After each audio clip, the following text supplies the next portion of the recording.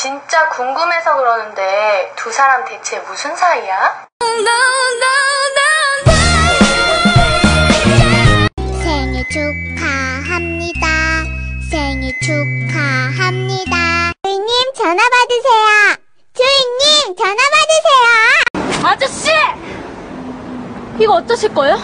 이거 어떡할 거냐고요, 네? 야, 걔가 어디가 special하냐? 걔가면 한유라 special이 아니지. 한유라 normal이지, normal. 야, 너 나왜 맞죠? 찬영아!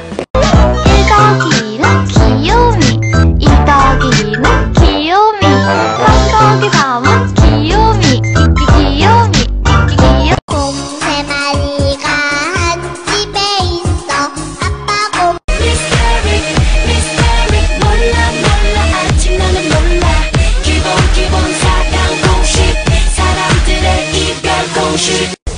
지금 내 얘기 도민준 씨가 듣고 있다 생각하면 나 얼마나 설레는지 알아요?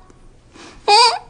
너만 바라보며 항상 기다려볼래 오직 너 하나만 알고 사랑해줄 어, 어, 웬일이니?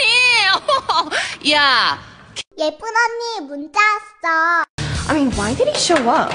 I just wanted to put everything behind us because past is just past. Gosh, I hate him so much, but he's so hot. 오빠 답장 꼭 좀 보내줘잉 왜 안 받아? 내가 핸드폰 사면서 사놓고 왜 안 받아?